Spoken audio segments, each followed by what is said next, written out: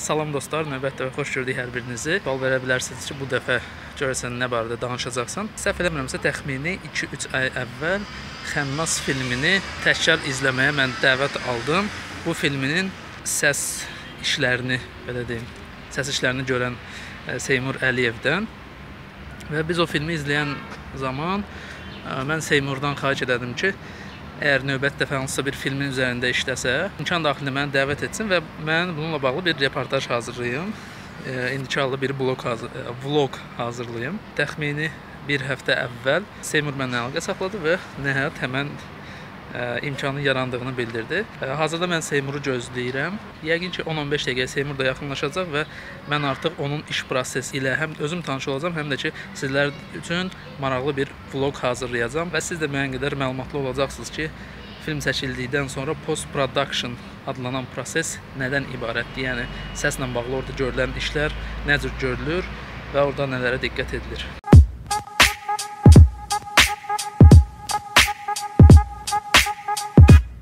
Dostlar, nəhayət ki Seymur gəldi və biz artıq demək olar ki, yarım saatdan artıq bir zamandır ki, Seymurun studiyasında onun fəaliyyəti ilə bağlı danışırdıq.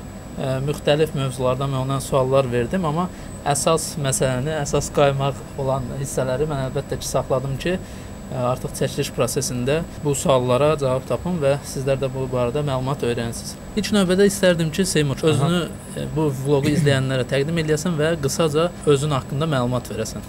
Mən Seymur Əliyev Seymur, ə, səs rejissoruyam, ə, səs post production ilə məşğulam. Yəni ki, ə, çəkiliş zamanı məkandan səs yazmaqla yox, ə, səs yazılandan sonra, çəkiliş bitəndən sonra, montaj prosesi gedəndən sonra səsin e, yəni e, təhlili ilə məşğulam, səs post production ilə. Və səs dizayneriyam. Mənim 30 yaşım hələ tamam olmayıb. 30 yaşım 12 gündən sonra tamam olacaq.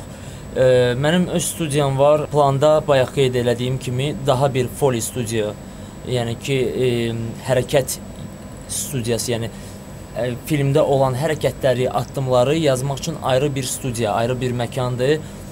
Foley studiyası açım, o barədə düşünürəm.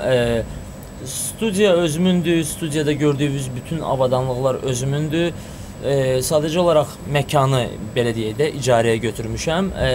Digər gördüyünüz yəni ki, hər bir şey səs boğucu sistemlərdən tutmuş, səs yəni texnikasına kimi hər şey özümündür və elə mənim e, belə deyək ki, heç bir dayağım olmayıb, mənim e, yəni milyonlarım olmayıb, mənim hətta heç 5000-im də olmayıb ilk dəfə mən studiya açanda. Mən e, ilk dəfə studiyanı açanda mən e, belə deyək 1500 manatla başladım. Balaca bir studiya açdım və sonra e, gördüyünüz kimi gəldim, yəni buralara Allahın köməkliyi ilə çatmışam. Və e, indiki gənclərə də məsləhətim odur ki, həyatda çalışsınlar, mübarizə aparsınlar. Kimsə e, belə deyək, düzdür mən ümumiyyətlə siyasətə heç vaxt qarışmıram, amma kimsə iş tapa bilmirsə, mənə elə gəlir birinci növbədə o onun öz problemidir. Yəni ki, e, işə yanaş. Qədər əzmkar deyil o. Əlbət ki, əlbət ki. Mən e, yəni 2 gün bundan qabaq dostlarımla, yoldaşlarımla oturub çay içirdik, söhbət elirdik. Mən onlara dedim və onlar da mənə razılaşdılar. Yəni niyə görə sözümü nəyə gətirirəm? Mən hətta səs rejissoru yox, mən belə deyək, mən Sapojnikdə olsaydım, mən inandırım ki, mən əlimdən gələn hər şey eləyəcəkdim ki, mən Azərbaycanda ən güclü Sapojnik, bəli, bəli, nömrə 1 ayaqqabı ustası olub. Yəni ki, mən e, gənc dövrlərimdə ofisiant da işləmişəm, satıcı da işləmişəm və həmişə mənim yəni hədəfim olub ki, mən nömrə 1 olum. Yəni ofisiant işləyən tələbələrə demək istəyirəm ki, möhkəm olun. Hamımız bu yoldan keçmişik. Ofisiant işləmək yəni heç də problem deyil. Əsas odur ki, siz işləyəsiniz və halal zəhmətinizlə öz ə, dolanışığınızı təmin edəsiniz. Burada heç bir problem yoxdur və müəyyən bir məqsədiniz olsun Əlbəttə, ki, ona gec-tez çalışsaz, ədimkarlıq göstərsəz, nail ola bilərsiniz. Mən növbəti sualıma keçmək istəyirəm. Buyurun. Mənə maraqlıdır ki, ə, sən özün də dedin ki, müxtəlif işlərdə çalışmısan və nə cür oldu ki, sən səs rejissorluğu ilə məşğul olmağa başladın? Çünki Azərbaycanda hal-hazırda sən filmlərin səs rejissoru kimi fəaliyyət göstərirsən. Bəli. Bu artıq ə, növbəti bir leveldir, belə deyim. Bəli, bəli. Çox bir keyfiyyətli bir leveldir. Mənim ə, marağım ol, ə, marağım olan bir sahədir deyənə. Mən bilmək istərdim ki, nə cür oldu bu səs rejissorluğuna gələn yol hardan başladı? Gözəl sualdır əslində təxminən 10 gün bundan qabaq bir aktyor bir filmin e, ikinci pərdə filminin post production mən işləyərkən e, prodüserlə, rejissorla orada oynayan bir aktyor yaxınlaşdı. Gəldi bir burada studiyada biraz söhbət elədi. Mənə dedi: "Necə olub ki, sən səs rejissoru olmusan?" Mənim sözüm düzü biraz e, tutuldum. Yəni ki, o, o, o soruşanda mən elə bildim o mənə deyir ki, yəni ki, nəyisə bəlkə işimdə bəyənmədi, nəyisə belə mən dedim başa düşmədim Nəsə sizi. çatışmayan nöqtə Hə, nəsə çatışma elə bildim, nəsə deyir yox, məsələ ondadır ki, heç kim deyir durub uşaqlıqdan deyə bilməz ki, mən səs rejissoru olmaq. A, çoxsu deyər mən müğənni olmaq istəyirəm, aktyor olmaq istəyirəm, nə rejissor, nə bilim, mən polis, Polis, olmaq istəyirəm, mən həkim. olmaq istəyirəm, bəli. Amma deyir heç kim durub uşaqlıqdan deyə bilməz ki, mən səs post production ilə Mən məşğul səs olmaq istəyirəm. rejissoru olacağam və post productiondan Bəli, məşğul bəli, olacağam. bəli. Bu necə olub? Sözsüz ki, hər şeyə yavaş-yavaş gəlmişik. E, biz gənc olanda mənim 14-15 yaşım olarkən biz e, rapə çox həvəsli idik. Biz rapə çox həvəsli idik. Biz e, qrup yaratmışdıq, nəsə klan yaradırdıq. E, bizdə də belə şey, yəni East Side, West Side xaricdə olan kimi, yəni, Yəni bu e, bizdə də təxmini dəyirman qrupu e, və Bəli, bəli, bəli. Hüseyn Dərya dəyirman Bəli. qrupu Elşad Xosa həmin vaxtlara təsadüf Eyni vaxt, edib. bəli, eyni vaxtlarda idi, eynən siz dediyiniz kimi. Yəni ki, o o dövrlərdə biz rapə həvəsli idik və başladıq studiyalarda gedib öz treklərimizi yazdırmağa və studiyaları görəndən sonra, studiya abu-havasını görəndən sonra mən başladım bəyənməyə. Çalışırdım ki, studiyada işləyən uşaqlarla, onlar məndən yaşda böyük idilər. Onlarla dostluq eləyim ki, onların yanına tez-tez gedim, görüm, nəsə bir balaca iş mənə həvalə eləsinlər, hətta Və nəticədə bəli, mən belə bir dostlar tapdım. Çox e, yəni onlar məndən yaşda böyükdülər, amma mənə böyük qardaş kimi, mən də onlara kiçik qardaş kimi həmişə biz bir-birimizin qulluğumuzdayıq və e, elə oldu ki, həminki elə dediyim özümdən yaşda böyük olan dostlarım mənə həvalə görürdülər ki, misal üçün indi müştəri gəlib e, musiqi oxuyacaq, biz gedirik işimiz var. Sən səsini yaz, sadəcə səsini düz yaz. Mən də uca o o ərəfələrdə artıq yetişirdim yavaş-yavaş. Səsini yaz, e, yəni onun uca abrabotkasını, editingin biz eləyəcəyik. Və beləliklə yavaş-yavaş başladım işləməyə, amma ki çox uzun çəkmədi. Valideynlərim mənim e, yəni ki bu rep repə olan həvəsimi mən, mənə qadağa qoydular ümumiyyətlə replə məşğul olmağa. Hə, ki e, rep rep nədir? Get özünə bir məşğuliyyət tap. Bəli, bəli. Get özünə bir sənət tap. Eləliklə və mən o dövrdən, yəni nə rep dedim, e, indi hərdən olub bəlkə uje 17-18 yaşımda sırf özüm üçün, yəni ki 1-2 trek yazmışdıq o vaxtlarda yadımdadır dostlarımla. Amma o sənətə yəni ki mən artıq krest qoydum. Yəni necə krest qoydum? Valideynlərim icazə vermirsə mən ona heç cür gedə bilməzdim. Və e, qayıtdım bu sənətə necə? Belə deyək. E, Ayna şirkətlər qrupuna məxsus olan bir e, studiya tikilirdi, Balan studiyası. Ora səs rejissoru e, tələb olunurdu. Hətta belə deyək, praktikası e, stajı olmayan Neçənci səs rejissoru. Bu 2013-cü ilin e, ortaları idi. Müəyyən e, suallar verdilər. Balaca bir e, imtahan, yəni qurdular. Keçdim, bəyəndilər və e, bir müddət sonra Qanlı Yanvar e, Vahid Mustafayevin Qanlı Yanvar filminin çəkilişləri başladı. Bizə rəhbərlik eləyirdi o zaman şəxsən Vahid Mustafayevin özü. Dedi mən müəyyən vaxt burada olmayacağam, çəkilişlərdə olacağam. Bu sizin üçün fürsətdir. E, baxın, yəni loru dilində desək, qurdalanın, öyrənin. Və mən e, başladım həmin ərəfələrdə YouTube-dan, müxtəlif e, saytlardan e, informasiya toplamağa, video dərslərə baxmağa, tutoriallara baxmağa, hətta pullu tutoriallara kimi yəni almışam, e, baxmışam və e, Vahid Mustafayevin yaratdığı şəraitlə mən onu praktikadan keçirtmişəm. E, şəraitimiz var idi, avadanlığımızı alıb qoymuşdu hər bir şey. Mən orada demək olar e, özüm özümü yetişdirmişəm. Belə başa düşdüm ki, bu 3 ayı e, özün üçün bir şans görüb, Şans, öz bəli. üzərində işləməyə başladın, tamamilə özünü öyrənəsən nələrsə. Bəli, hətta işdən çıxıb evə gələndə də yəni ki mən vaxtımı boş keçirmirdim. Çalışırdım ki, yəni e, düzdür, e, belə deyək, nəfsim var idi, istəyirdim gedim uşaqlarla, dostlarım, dostlarımla çayxana, İnternet klub, futbol. İnternet, bəli, futbol və s. amma e, elə maraq yarandı ki, məndə bu sənətə evə də gələn kimi belə deyək, yeməyimi yeyirdim, biraz ola bilər istirahət edirdim, təzədən e, telefonda YouTube-la baxırdım, oxuyurdum və s. Deməli, Qanlı Yanvar filminin çəkilişləri bitdi və Vahid Mustafayev gəldi, e, yenidən onunla görüşdük. Dedi, e, mən İrana uçuram, e, Qanlı Yanvar filminin post production-a. Filmin səs təhlili də yəni orada olacaq, səs post production-ı. Yəni ürəyin deyir istəyirsən mən səni özümlə götürüm. Orda e, bəs peşəkarlara bax, qeyd eləyim ki, İranın kino sektoru çox güclü inkişaf eləyib. Mən sözün düzü o vaxt elə bilmirdim. Ürəyimdə fikirləşdim ki, İran orada Nə nə, peşəkar, hə, nə olacaq? O, o söhbətin üstündən 10 gün sonra İrana uçduq və mən onda bildim ki, hə, İranın kino sektoru necə də güclü inkişaf eləyib. Və orada peşəkar ə, peşəkarlar belə deyək, qanlı yanvarın səsini işləyərkən onların yanında durdum.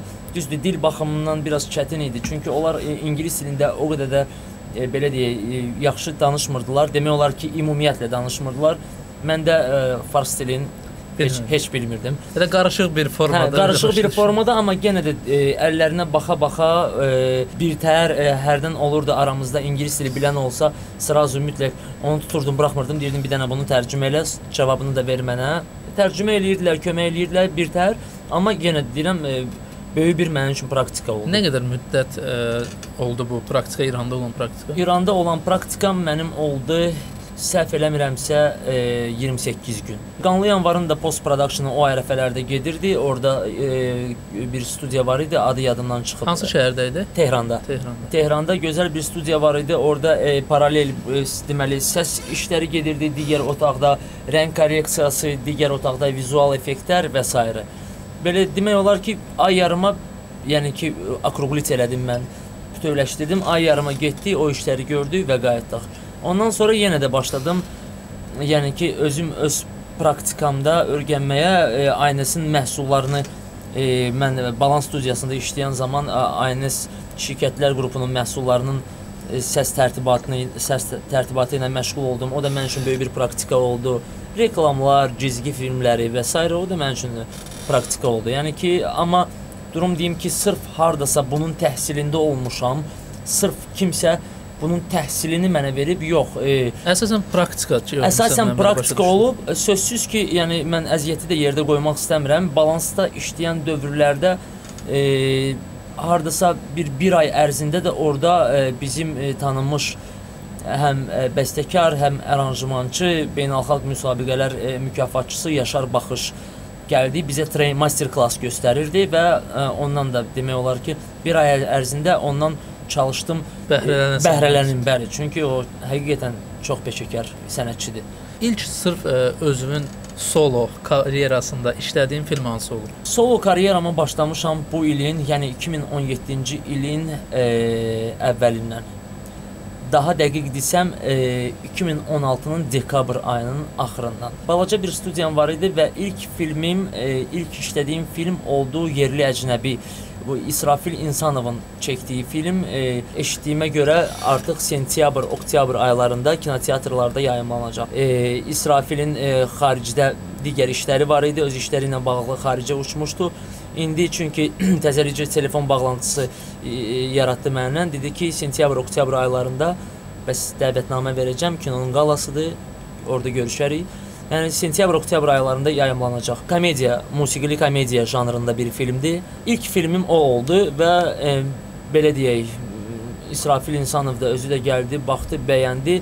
E, nəzərə alaq ki, o filmi də mən sıfırdan qaldırdım. Yəni ki, yerində səs pis yazılmışdı deyə e, o filmin səsini sıfırdan yığdım. Bütün həm hərəkət səslərin dublyajını Dublyaj elədik. Bəli, hərəkət səslərini yazdıq. E, sonra səs dizaynı ilə məşğul olduq və hamısını e, belə eləyək e, 100%-a kimi qaldırdıq filmin səsini. Bu ilin 2017-nin yanvarından sən artıq fəaliyyət göstərirsən fərdi şəkildə öz studiyanda. Bu müddət ərzində neçə film işləmisən və mənə maraqlıdır ki, hansı filmləri işləmisən? Məncə bu vloqu izləyənlər də maraqlı olacaq, çünki artıq kinoteatrda izlədikləri və yaxud da artıq iz, izləmiş olduqları filmlərin səs rejissorunun kim olduğunu və bu səsləri kimin işlədiyini bilsələr, onlar üçün maraqlı olar. Çox xoşuma gəldi bu sual, çünki bunun çox ə, ürək açan cavabı var. Mənim üçün bu ürək açandır əslində.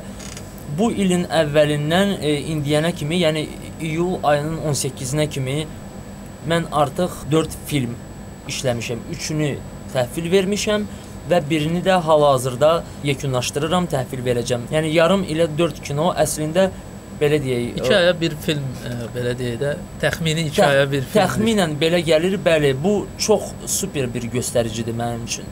Yəni ki 2017-nin əvvəlində mən solo karyeramı başladım və yarım il ərzində 4 film, e, hətta e, həmkarlarımızla oturub söhbət eləyəndə onlar dedilər ki, səhv eləmiriksə sən rekord vurmusan. İndi bilmirəm valla rekord, e, yəni hədəfim rekord vurmaq deyildi, amma hədəfim yenə də Qismət belə oldu. Hə, qismət belə oldu. Belə Bəs sən deyə. desən ə, bir aya neçə film işləyə bilərsən? Bilirsiniz, o əslində asılıdır filmin səsinin məkandan necə yazıldığına.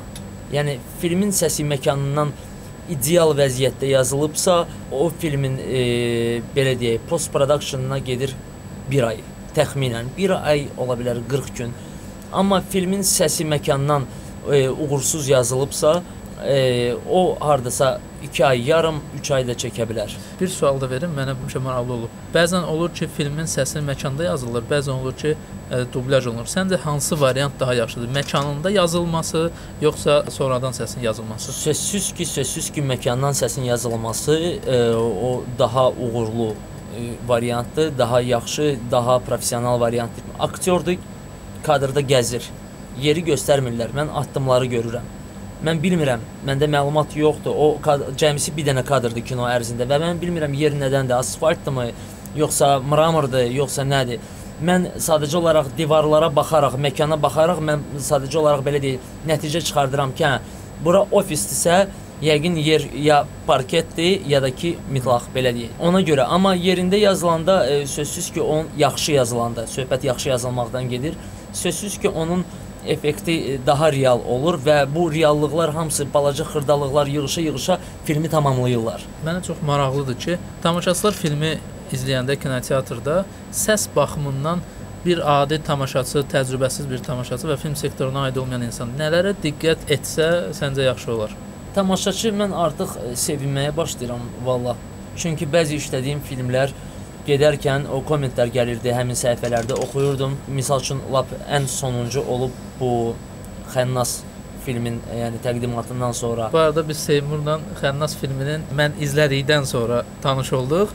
İlk dəfə idi ki, Azərbaycanda mən belə bir halla qarşılaşdım ki, sən kiminsə işini tənqid edirsən və o insan buna laqeyd qalmır və cavab olaraq o səni nəinki təhqir etmir və o maraqlanır ki, nəyə görə səndə bu suallar yaranıb və maraqlı olur ki, əgər burada bir problem varsa onları aradan qaldırsın. Mən bunu tərifləmək üçün demirəm. Çünki Xənnas filmini mən ilk dəfə izlədikdən sonra ilk dəfə premyerada izlədim onu Aha. və bir vloq hazırladım. Kanalımda da o vloq var. Bəzi yerlərdə məncə kobud idi. Adam lap vahimə basır bu Xənnas filmini izləyəndən sonra. Dublyajı bəyənmədim bəzi yerlərdə. Bəzi yerlərdə musiqinin səsi həddən artıq yüksək idi. Aktyorların nə dediyini eşitmirdim. Bu vloqdan sonra Seymur mənlə əlaqə saxladı və təklif elədi ki, bir daha filmi izləyək. E, Mən birinci Nizami kinoteatrında izləmişdim, sonra Cinema Plus-da 28 malda sən məni dəvət elədin və orada Bəli. izlədik. Mən orada da fərqlilikləri gördüm. Deyim ki, Nizami kinoteatrında və Cinema Plus-da izlədiyim ə, filmlərdə sırf səsdə və görüntüdə ə, 70%-ə qədər fərq var idi. Yəni filmi izlədiyiniz yerə də diqqət eləyin. Məqsədim o deyil ki, Cinema Plus-da izləyin ya Park Sinemada izləyin, amma Amma izləyin. Faktik, hə, faktiki olaraq ə, filmin premyerasında izlədiyimizlə indi izlədiyimiz film arasında görüntü və səs baxımından fərq var idi. Artıq Seymurla, filmin səs rejissoru ilə mən filmi izləyirdim və Seymur yanımda oturub mənə izah eləyirdi. Mən suallar verdim, mənə izah edirdi ki, nə nəyə görə burada bu formadadır. Bu əslində çox gözəl haldır. Nəyə görə? Əvvəla insanın tənqidə açıq olduğunu göstərir. İkincisi işinə nə qədər məsuliyyətli yanaşdığını göstərir və üçüncüsünü bu o deməkdir ki, insan dəyər verir öz işinə. Öz işinə dəyər verir, qiymət verir və inkişaf etməkdə maraqlıdır. Mən düşünürəm ki, hər bir insan öz sahəsində, ümumiyyətlə həyatında səhv eləyə bilər. Əlbəttə. Amma ə, burada iki növ insanlar var. İnsanlar var ki, səhv etdikdən sonra onu qəbul etmək istəmirlər və inkar edirlər. Tənqidi də qəbul etmirlər. Bizdə belə insanlar çoxdur. Film sahəsində çox görürəm belə adamları. Mən sadəcə o insanlarla danışıb özümü yormaq da istəmirəm, amma bir də var ki, sən səhvini, yəni ola bilər ki, mən səs ə, sahəsində ə, 100% mən bilirəm ki, mütəxəssis deyiləm. Sən ə, artıq mütəxəssis sayıla bilərsən, çünki kifayət qədər təcrübən var. Buna baxmayaraq sənin mənim tənqidlərimə, başqa tamaşaçıların tənqidlərinə açıq olmağın və ona uyğun nəsə dəyişikliklər etmək istəməyin sənin daha da təkmilləşməyə meylli olmağı göstərir. Bu mənim ən çox bəyəndiyim bir şey oldu. Yəni bunu da vurğulayım ki, nə Seymur mənə hər hansı bir ödəniş eləyib, pul eləyib, nə ki mən Seymuru bundan qabaq tanımırdım. Sadəcə olaraq adi bu studiyaya gəlməyimiz belə mən əvvəldə də bunu vurğuladım vloqun əvvəlində. Filmin biz Xənnası ikinci dəfə izləyəndə mən Seymurdan xahiş edirdim ki, əgər mümkün olsa hansısa bir filmin post production işləyəndə ə, vaxt ayırsın və mən gəlim artıq daha dərindən maraqlanım səndən bu işlə bağlı və ə, müddət keçdi Seymur sağ olsun dəvət elədi və artıq biz onun studiyasında bu barədə danışırıq. Sən nə deyə bilərsən bu barədə? Yəni ilk dəfə mən vloqda Xənnas filmi haqqında danışanda sən nə hisslər keçirdin və nə cür oldu ki, nə səbəb oldu ki, məni dəvət elədin? Belə deyim, mən onu ilk dəfə izləyəndə sözsüz ki, indi düzünü deyim, mən pis oldum. E, çünki siz e, orada səsdə nöqsanları vurğulamışdınız. Mən pis oldum, amma mən e, pis oldum ona görə ki, yox, siz bunu yayımladınız dediniz. Çünki mənim üçün sizin fikriniz çox önəmlidir. Siz tamaşaçısınız. E, mən pis oldum ona görə ki, yəni mən lazımi qədər, yəni məsuliyyətli yanaşmadım filmə. Yəni özüm özümə sual verdim. Yəni beləmi oldu? Yoxsa mən lazımi qədər təcrübə yığmamışam və elə sizinlə danışmamışdan öncə də özüm özümdə danışıram özümlə ki, yox. Onda mən film işlərini dayandırım, biraz da təcrübə yığım. Və e, sonra qulaq asandan sonraki hansı nöqsanlardan siz danışırsınız, onda mən gördüm ki, kinoteatrın e, akustikasının, yəni zəifliyini vurğuladınız, amma siz tamaşaçısınız. Siz nə biləsiniz ki, hansı kinoteatrda akustika necədir və nə nədir? Siz bir dənə söz deyə bilərsiniz və deməlisiniz ki, bu filmin səsi misal üçün də dialoqları eşidilmirdi tutaq ki. Və ona görə mən sizi dəvət elədim e, digər kinoteatra, Cinema Plus-a, hardakı, yəni bizim film vizyonda olacaq. Orda siz baxasınız və orada da nəsə bəyənməsəz deyəsiz mən dərhal rejissorla əlaqə yaradım və biz o dəyişiklikləri eləyək. Sözsüz ki, bəzi dəyişiklikləri hətta biz filmin qalasından sonra eləmişik. Sadəcə olaraq bilirsiniz bu mistik e, janrında film işləmək əslində çox çətindir. Niyə görə? Çünki orada müxtəlif yəni seçilmiş belə deyək, səs effektləri olmalıdır, seçilmiş səslər olmalıdır. O filmi, o janrda filmi sıfırdan hətta 2 aya da çox azdır qaldırmaq Ona görə biz 2 ayda Elvinlə, filmin rejissoru ilə demək olar turbo rejimdə işləyirdik. Elvin özü də, yəni film elə qalasından sonra mənə təşəkkürünü bildirdi ki, 2 aya sən bunu bacardınsa, yəni sən bunu eləmisənsə, film yəni vizyondadırsa, yəni bu çox yaxşı göstəricidir. Burdan salamlayıram Elvini, minnətdarlığımı bildirirəm Elvinə. Bəli, hələ onu deyirdim ki, Xənnas filminin e, səhifəsində artıq uje tamaşaçılar yazırdı ki, hə, filmin Qrafikasını bəyəndim, filmin səs effektlərini bəyəndim.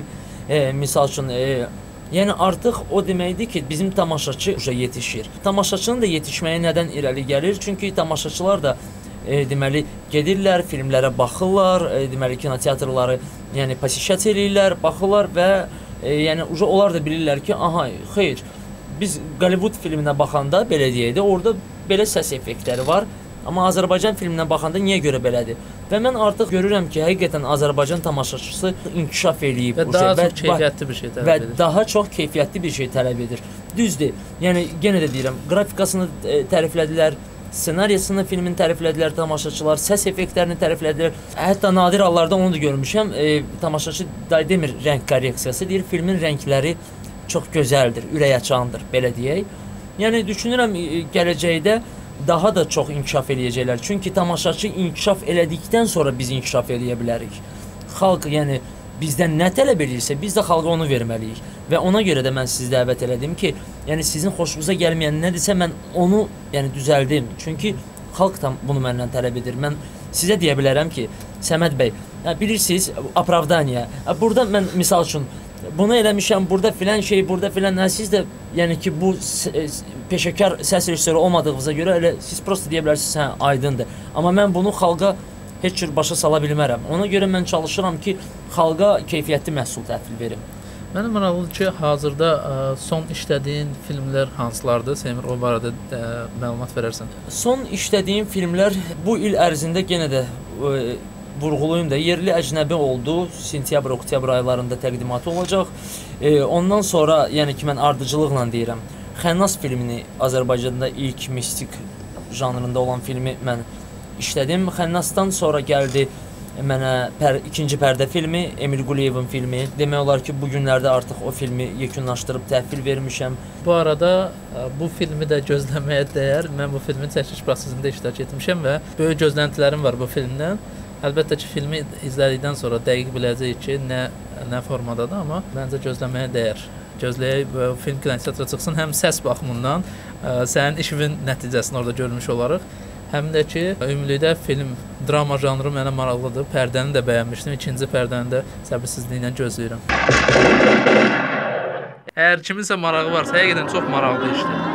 Sırf marağınız varsa bu işə məşğul olmaq istəyirsinizsə, məncə lap elə Seymura müraciət edin, məşğul olun bu işlə. Tövsiyə edirəm. Elə yerində də e, qeyd edeyim ki, sözü gedən filmin əs, e, səs ye, yerindən yazılıb, məkandan yazılıb səsi və e, belə deyək, çox yüksək səviyyədə yazılıb. Super, yəni ona görə də o filmi işləmək əslində həm e, mənə çox rahat oldu, həm vaxt ə, az vaxt istifadə elədim. E, çox super Sergey səhv eləmirəmsə. Sergey adlı e, səs operatoru yazmışdı. Seryoja, buradan sənə Salamlar. Yəni çox yüksək keyfiyyətdə, yü- yüksək səviyyədə yazmışdı. Mən hətta filmin rejissoruna da dedim ki, mən artıq sevinirəm ki, Azərbaycanda məkandan da artıq səsi yazanda bu cürünə peşəkarcasına, yəni hər bir xırdalığa kimi fikir vermişdi. Yəni hər bir xırdalığın səsi yazılıb və ona görə əziyyət çəkmədim. Və e, belə deyək, filmləri sayırdım. E, pər, ikinci pərdədən sonra işlədiyim film hal-hazırda da onu işləyirəm. E, Mələyin öpüşü. Əs- Oximediyanın. Oximedia, bəli, prodüser, filmin prodüseri Aksana Rəsulova, filmin rejissoru e, Əskərdir. Əskər e, çox e, belə deyək, ilk böyük filmidir, amma e, potensial görürəm mən o insanda, o rejissorda. Yəni ki, düşünürəm ki, uğurlu film olacaq. Son olaraq mən istərdim ki, bizim izləyicilərimizə hansısa bir tövsiyələrini deyim, arzularını mı deyim, ə, verə bilərsən və yaxud da bu sahəyə də ola bilsin kiminsə marağı var. Elə bu günün özündə replə maraqlanır və yaxud da səs ə, yazma işinə marağı var, amma hələ ki kifayət qədər məlumatlı deyil. Sən artıq bu sahədə ə, başlamısan professional addımları atmağa. Bu sahədə sahəyə maraqlı olan insanlara, gənclərə xüsusilə öz fikirlərini də paylaşasan və kiminsə istəyi varsa nə məsləhət görə bilərsən onlara. Deməli, mən ümumiyyətlə musiqi ilə məşğul olmuram. Niyə görə musiqi ilə məşğul olmuram? Gözəl duyumum var, musiqi duyumum var. Yəni belə deyək, üstünə düşsəm mən özümü tanıyıram. Yəni ki, mən həd onu qabağımda hədəf qoysam, musiqi də aranjmanı ilə məşğul ola bilərəm. Sadəcə olaraq belə deyək, mən o işə niyə görə girişmirəm? Çünki mənim musiqi təhsilim yoxdur.